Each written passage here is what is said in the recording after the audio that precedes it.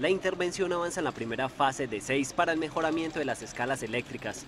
Las obras que beneficiarán a 30.000 habitantes de sectores altos de la Comuna 13 fueron hoy inspeccionadas por el propio alcalde de Medellín.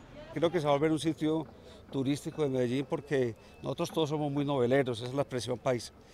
Pero también nos ha sucedido que las obras que hemos ido haciendo en Medellín le interesa mucho a los gobernantes de otros países, a los de desarrollo urbano, social.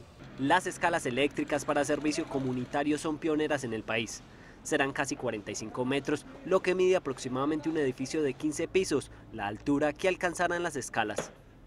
El mecanismo funcionará continuamente a una velocidad lenta para permitir que incluso niños y adultos mayores puedan descender sin contratiempos.